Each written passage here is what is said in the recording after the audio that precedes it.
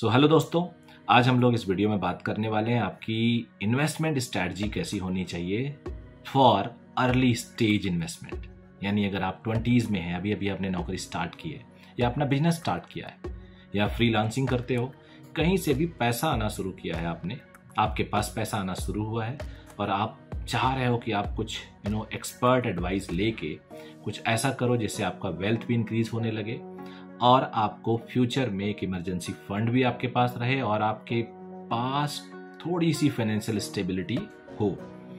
तो इसमें कुछ पॉइंट्स तो मैं अपने शॉर्ट्स के थ्रू छोटे छोटे जो वीडियोस देता हूँ, उसके थ्रू कवर करता रहता हूँ। इस वीडियो में मैं बताऊँगा कि क्या क्या आपकी आइडियल स्ट्रैटेजी होनी चाहिए और आखिर में आप लोग को रेट करना है कि आपकी स्ट्रैटेजी इसके साथ कितनी मैच कर रही है। और वहाँ पे आप को अपने आप को नंबर भी देने हैं। तो वीडियो को आखिरी तक देखिएगा और पहली बार चैनल पे आए हैं तो ज़रूर सब्सक्राइब कर लीजिएगा क्योंकि ये चैनल आपका है।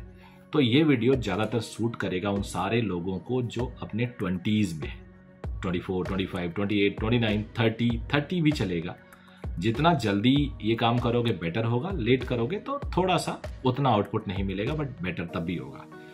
देखो अगर आपने जॉब स्टार्ट किया है और आपके खर्चे ज़्यादा हैं मे बी आप मैरिड हैं, आपके शादी होने के कुछ साल बाद बच्चे हैं और आपके खर्चे बढ़ गए, लेकिन आपकी सैलरी नहीं बढ़ पा रही है और आप अपने खर्चों से ज़्यादा, अपनी जो सैलरी से उससे ज़्यादा खर्च कर रहे हैं। ऐसे केस में आप कभी कभी लोन ले लेते हैं पर्सनल लोन ऑफ़र हो जाता है, आप उसको ले लेते हैं, सोचते हैं ई ही तो देनी है। कभी कभी आप एक्स्ट्रा क्रेडिट कार्ड पे खर्चे कर लेते हैं, क्योंकि जब हम नौकरी में आते हैं तो हमारा मन करता है क्रेडिट कार्ड बनवा लो। आजकल ऑफ़र भी करते रहते हैं मॉल में घूमने जाओ, कहीं पे शॉपिंग कॉम्प्लेक्स में जाओ तो ये लोग मिल जाते हैं, और आपने क्रेडिट कार्ड बनवा लिया। अब क्रेडिट कार्ड बनवाने का मतलब खर्चा भी करना है आपको। यहीं से आप ट्रैप होना शुरू हो जाते हैं। आपको जो फाइनेंशियल कॉम्प्लिकेशंस है ना, यहीं से आप फंसते चले जाते हैं। और ये जो विशेष सर्कल बनता है, कि आपका पैसा आया, आपने क्रेडिट कार्ड में दिया, फिर वहाँ से शॉपिंग कर लिया, फिर ड्यू हो गया, फिर आगे पैसा आया, उसी में दिया और इसी में फंसे रहते हैं।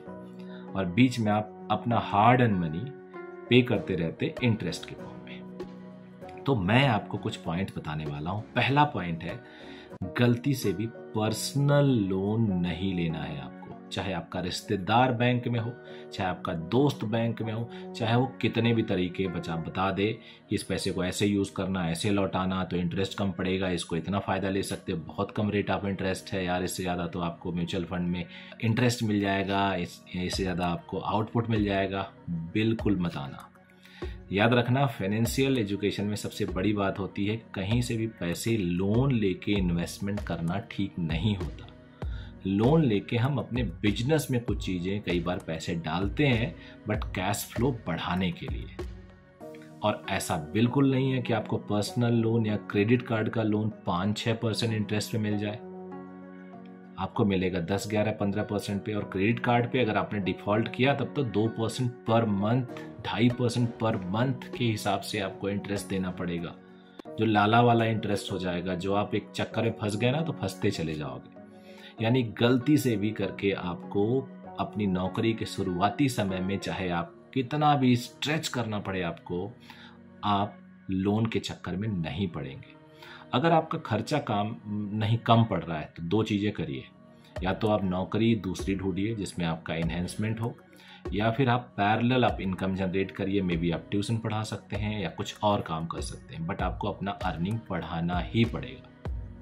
अब आ जाते हैं इन्वेस्टमेंट स्ट्रैटी जब हम अपने अर्ली स्टेज में शुरुआती जॉब में होते हैं तो इतना पैसा नहीं होता कि हम अच्छा खासा डाइवर्सिफाइड पोर्टफोलियो अपना बना पाए, कि थोड़ा गोल्ड भी ले लिया, थोड़ा म्यूचुअल फंड भी ले लिया, थोड़ा यू नो एफडी में डाल दिया, थोड़ा बॉन्ड ले लिया, नहीं हो पाता। तो मेरा सबसे कहना है कि ऐसे केस में आप पाँच सौ रुपया ही सही म्यूचुअल फंड में डालो, पाँच सौ रुपया ही सही। कुछ नहीं तो गोल्ड आजकल डिजिटल गोल्ड आ रहे हैं, उसमें से आजकल तो सौ रुपये का भी गोल्ड खरीदा जा रहा है। आप उसको परचेस करो।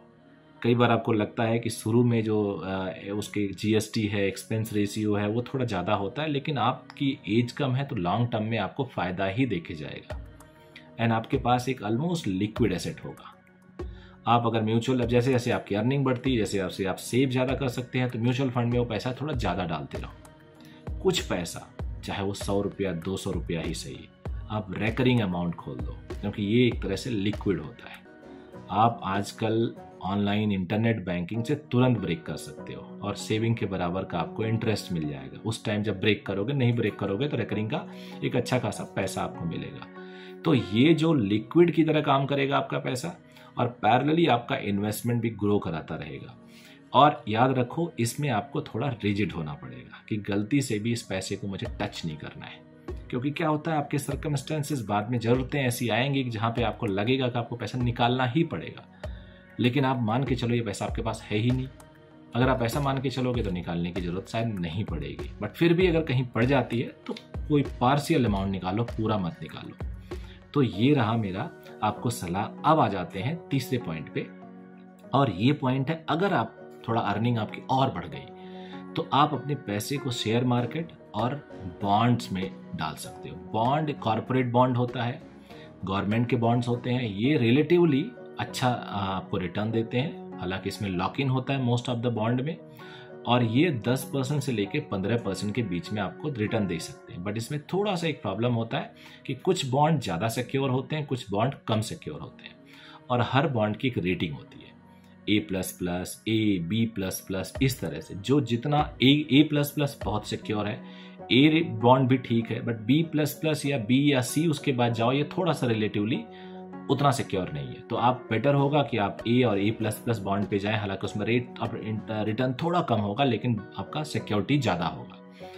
और आप अगर अपने कम एज में हैं तो शेयर मार्केट में अच्छी कंपनीज़ में फंडामेंटली स्ट्रॉन्ग कंपनीज़ में आप इन्वेस्टमेंट कर सकते हैं। ट्रेडिंग अलग होता है इन्वेस्टमेंट अलग होता है।